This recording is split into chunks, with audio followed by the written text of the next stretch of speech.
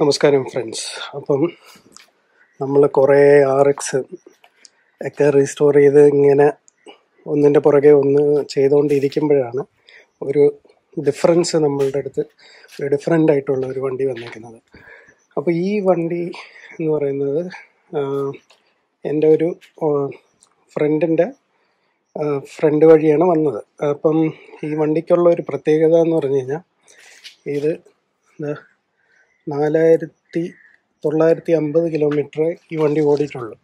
മുപ്പത് വർഷം പഴക്കമുണ്ട്.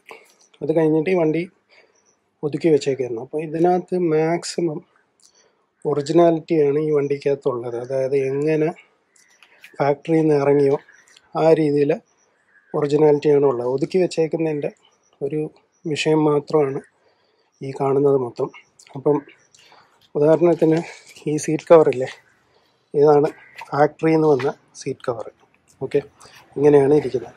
അപ്പം സൈലൻസർ നോക്കിക്കഴിഞ്ഞാൽ ഈ സൈലൻസർ ഒറിജിനൽ ഫാക്ടറിയിൽ നിന്ന് എങ്ങനെയാണ് വന്ന് അതേ ഫിനിഷിലാണ് ഇപ്പോഴും ഇരിക്കുന്നത്. അങ്ങനെ ഓരോ കാര്യങ്ങൾ.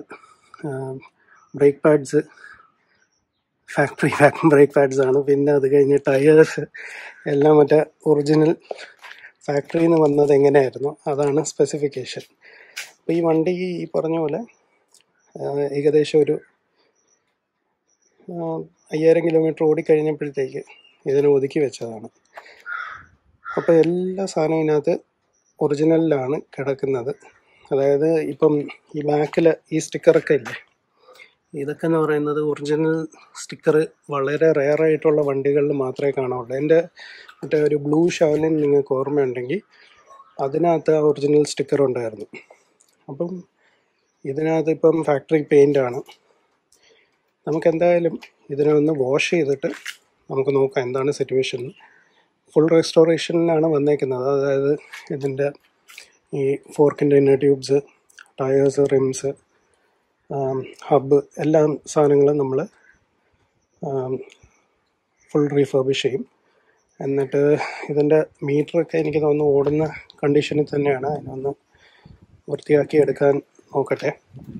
പിന്നെ മാസ്ക് ഇതാണ് ഒറിജിനലായിട്ട് വന്ന മാസ്ക് ഒറിജിനലായിട്ട് വന്ന ഹെഡ്ലൈറ്റിന്റെ റിഫ്ലക്ടർ എല്ലാ കാര്യവും ഹൺഡ്രഡ് പെർസെന്റ് ഒറിജിനലാണ് അപ്പോൾ ഇതിനകത്ത് ഈ ഇൻഡിക്കേറ്റേഴ്സ് ഉണ്ട് നമ്മൾ കൂടുതലും ഇതിനകത്ത് മറ്റേ സ്വിസ്സിന്റെ ഇൻഡിക്കേറ്റേഴ്സാണ് നമ്മൾ കാണാറുള്ളത് ഇത് ഒറിജിനൽ ഫാക്ടറിയിൽ നിന്ന് വന്ന സാധനങ്ങളാണ്. അതായത് എന്തോ ബ്രാൻഡിങ് ഉണ്ട്. ആക്ച്വലി ഇത്രയും ഒറിജിനൽ ആയിട്ടുള്ള ഒരു വണ്ടി ഇതുവരെ കണ്ടിട്ടില്ല.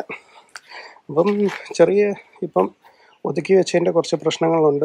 അത് നമുക്ക് പുറമേ കാണാം. ഇവിടെ ഒരു പാനൽ മിസ്സിംഗ് ആണ്. ഈ സൈഡിലെ പാനൽ ഒറിജിനൽ പാനലായിരുന്നു അത് മിസ്സിംഗ് ആണ്. ഇത് പിന്നെ ഡിസ്മാന്റിൽ ചെയ്യാന്ന് പറഞ്ഞു കഴിഞ്ഞാൽ ഒരു ഒന്നൊന്നര പണിയായിരിക്കും. കാര്യം എന്താണെന്ന് വെച്ചാൽ എല്ലാ സ്ക്രൂവിന്റെ ഹെഡ് പോയിട്ടുണ്ട്. എന്തായാലും നമുക്കിതൊന്ന് ഫുൾ റീസ്റ്റോർ ചെയ്ത് കുട്ടപ്പനാക്കി എടുക്കണം. അപ്പോൾ ഇതിനകത്ത് പണി തുടങ്ങുന്നതിന് മുമ്പേ ഇതിനെ ഒന്ന് വാഷ് ചെയ്തിട്ട് ഇതിന്റെ എന്താണ് ഈ അഴുക്കിന്റെ അടിയിൽ ഇരിക്കുന്നതെന്നുള്ള കാര്യം നമുക്ക് നോക്കണം. അപ്പം ടാങ്കൊക്കെ ഒന്ന് നന്നായിട്ടൊരു വാഷ് ചെയ്യുമ്പോൾ ഇത് ഏകദേശം എനിക്കൊന്ന് ട്വന്റി ഫൈവ് ഇയേഴ്സിൽ ഫസ്റ്റ് വാഷ് ആയിരിക്കും ഇതിന്റെ. അപ്പോൾ നമുക്ക് നോക്കാം എങ്ങനെയാണ് ഇതിന്റെ ഔട്ട്പുട്ട് എന്ന്. ഓക്കെ അപ്പോൾ വാഷ് ചെയ്യാൻ ഉള്ള പരിപാടി തുടങ്ങുകയാണ്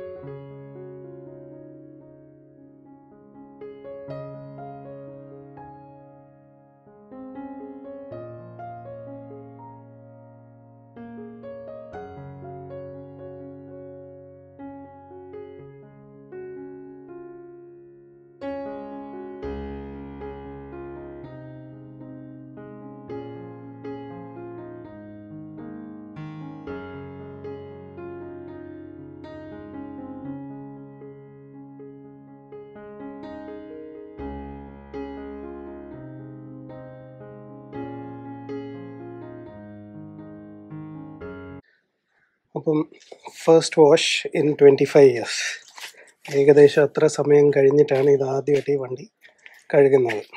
അപ്പം സംഭവം നമുക്ക് ഫാക്ടറി പെയിന്റ് രക്ഷിച്ചെടുക്കാൻ പറ്റില്ല. കാര്യം എന്താണെന്ന് വെച്ച് കഴിഞ്ഞാൽ ഇത് കണ്ട ഇവിടെ നല്ലൊരു തുരുമ്പിന്റെ അംശമുണ്ട്.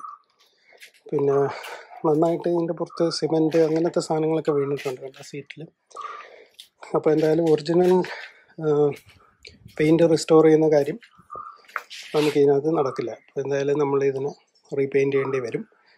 അപ്പം കഴിവിയപ്പോൾ തന്നെ ഏകദേശം ഒരു നമ്മുടെ കംപ്ലീറ്റ് നിഗ്ലക്റ്റഡ് ആയിട്ട് കിടന്ന ഒരു വണ്ടിയുടെ ഒരു ലുക്കല്ല ഇപ്പം മാറിയിട്ടുണ്ട്. ഇപ്പോൾ ഇതിനകത്ത് ഇനിയിപ്പോൾ നോക്കാനുള്ളതെന്ന് വെച്ചാൽ ടാങ്കിന്റെ പുറമേ ഇത്രയും തുരുമ്പുണ്ടെങ്കിൽ മിക്കവാറും ഈ ടാങ്ക് നമുക്ക് യൂസ് ചെയ്യാൻ പറ്റില്ല. കാരണം നമ്മൾ ഇത്രയും ഇതിനകത്ത് എഫേർട്ട് ഇട്ടിട്ട് ഇത് റെഡിയാക്കി എടുത്തു കഴിഞ്ഞിട്ട് അവസാനം ഇതിനകത്ത് ലീക്ക് ഉണ്ടെങ്കിൽ അത് വലിയൊരു തലവേദനയാണ്. കാരണം നമ്മൾ റീസ്റ്റോർ ചെയ്യുന്ന ഒരു വണ്ടി എന്ന് പറയുമ്പോൾ അത് അത്രയ്ക്കും വഴിയിലാവാത്ത രീതിയിൽ അല്ലെങ്കിൽ ഈ പെയിന്റ് അടിച്ചതൊക്കെ വീണ്ടും പൊള്ളി ഇളകാത്ത രീതിയിൽ വേണം നമ്മൾ അതിനെ ചെയ്യാൻ. അപ്പം ആ ഒരു സംഭവം ഇങ്ങനത്തെ ഒരു ടാങ്ക് ആകുമ്പോഴത്തേക്ക് പ്രശ്നമാണ്. അപ്പം അതാണ് ഫസ്റ്റ് ഇംപ്രഷൻ.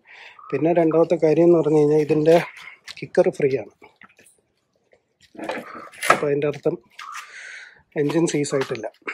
അപ്പം അതൊരു നല്ല സൈനാണ്. പക്ഷെ ക്രാങ്ക് എല്ലാം എടുത്ത് നമ്മൾ കണ്ടീഷൻ നോക്കേണ്ടി വരും.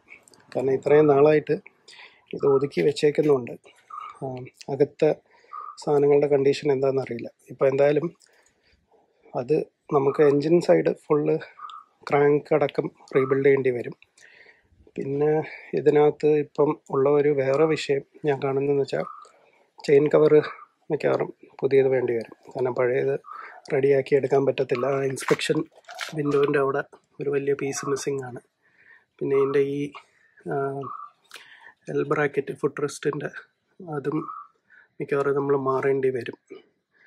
പിന്നെ നമ്മൾ നോർമൽ റെസ്റ്റോറേഷനിൽ വരുന്ന റബ്ബർ ഐറ്റംസ് എല്ലാം ചേഞ്ച് ചെയ്യും. പിന്നെ ചാസി ഫുൾ നമ്മൾ ചുരണ്ടി വൃത്തിയാക്കിയിട്ട് ഒന്നേന്ന് പെയിന്റ് ചെയ്യും. പിന്നെ ഫ്രണ്ട് ഫോർക്കിന്റെ ഇന്നർ ട്യൂബ്സ് മാറ്റണം. ഓട്ടോ ട്യൂബ്സിന്റെ കണ്ടീഷൻ വലിയ കുഴപ്പമില്ല. പക്ഷെ എന്തായാലും അതൊന്ന് പെയിന്റൊക്കെ ഇളക്കുമ്പോഴേ അറിയാൻ പറ്റുള്ളൂ. ഫ്രണ്ട് മഡ്ഗാർഡ് പോക്കാണ്. അപ്പോൾ അതിന്റെ കാര്യം നോക്കണം. പുതിയ മഡ്ഗാർഡ് ഒപ്പിക്കണം. പുതിയതെന്ന് വെച്ചാൽ ബ്രാൻഡ് ന്യൂ കിട്ടില്ല. സെക്കൻഡ്സ് തന്നെ നോക്കേണ്ടി വരും. നല്ല കണ്ടീഷനിൽ അല്ലെങ്കിൽ ഇതിനെ നമ്മൾ ഫുൾ സാൻഡ് ബ്ലാസ്റ്റ് ചെയ്തിട്ട് ഒന്ന് നോക്കണം എന്താണ് കണ്ടീഷൻ അപ്പോൾ അതാണ് വണ്ടിയുടെ അവസ്ഥ. ടയർസൊക്കെ കണ്ടില്ലേ? ഇത്രയും വർഷം പഴക്കമുള്ള സാധനങ്ങളാണ്. അപ്പോൾ ഇത് നമ്മളുടെ ഒരു ഇതിൽ പറഞ്ഞു കഴിഞ്ഞാൽ ഇതൊരു സർവൈവർ ബൈക്കാണ്. അപ്പോൾ ഇതിനകത്ത് നമ്മൾ പ്ലേറ്റിംഗ് ചെയ്യാനൊന്നും നിൽക്കത്തില്ല ബാക്കിലെ ഷോക്ക് ബ്രാൻഡ് ന്യൂ ഇടും. ഹാൻഡിൽ നമ്മൾ എന്തായാലും പെയിന്റ് ചെയ്യും. കാരണം ഈ ഒറിജിനൽ ഷോക്കിന്റെ ഹാൻഡിലൊക്കെ വളരെ റെയറാണ്. പിന്നെ കുറച്ച് സാധനങ്ങൾ പ്ലേറ്റ് ചെയ്യാനുണ്ട്. ഇപ്പോൾ ഈ ഫോർക്കിന്റെ ടോപ്പ് നട്ട്സ് ഈ നാല് ബോൾട്ട് അങ്ങനത്തെ ചെറിയ ചെറിയ സാധനങ്ങളുണ്ട്.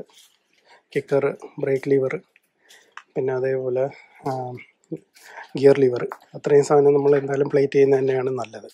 കാരണം ഇതൊക്കെ ഒറിജിനൽ ഒറിജിനലാണ് നമ്മൾ സെക്കൻഡ് മിനിറ്റ് ഇപ്പോൾ വാങ്ങാൻ പോവുകയാണെങ്കിൽ ക്വാളിറ്റി കുറഞ്ഞ സാധനങ്ങളാണ് വരുന്നത്. സ്വിച്ച് മാറ്റും ഗ്രിപ്പ് മാറ്റും രണ്ട് ലിവേഴ്സും മാറ്റും അതിന്റെ മിറേഴ്സ് കിട്ടാനാണ് പാട്. ഷോഗന്റെ ഏറ്റവും വലിയ ചാലഞ്ച് അതാണ്.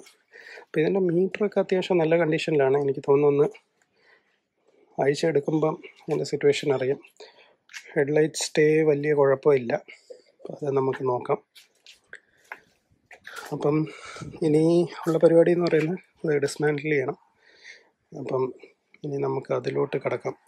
പക്ഷേ ഇമ്മീഡിയറ്റ്ലി ഇപ്പോൾ ചെയ്യത്തില്ല. കാരണം എന്താണെന്ന് വെച്ച് കഴിഞ്ഞാൽ എനിക്ക് കുറച്ച് ഇവിടെ വൃത്തിയാക്കൽ പരിപാടി നടന്നുകൊണ്ടിരിക്കുകയാണ്. അപ്പോൾ അത് കാരണം ഇതിന് മിക്കവാറും ഞാൻ രാത്രി വല്ല ഇരുന്ന് ഡിസ്മാൻഡിൽ ചെയ്യും. അപ്പോൾ നമ്മൾ എന്തായാലും ഷൗലിൻ ഡിസ്മാൻഡിൽ ചെയ്ത വീഡിയോസ് നിങ്ങൾ കണ്ടല്ലോ. അപ്പോൾ ഞാൻ ഇട്ടില്ലേ? മറന്നുപോയി. അപ്പം അതാണെങ്കിൽ അത് ഇതും തമ്മിൽ വലിയ വ്യത്യാസമൊന്നുമില്ല ഡിസ്മാൻഡ്ലിങ്ങിൽ അപ്പം പെട്ടെന്ന് തന്നെ ഈ വണ്ടി ഇറക്കാനുള്ള പരിപാടിയാണ് നമ്മൾ നോക്കുന്നത്.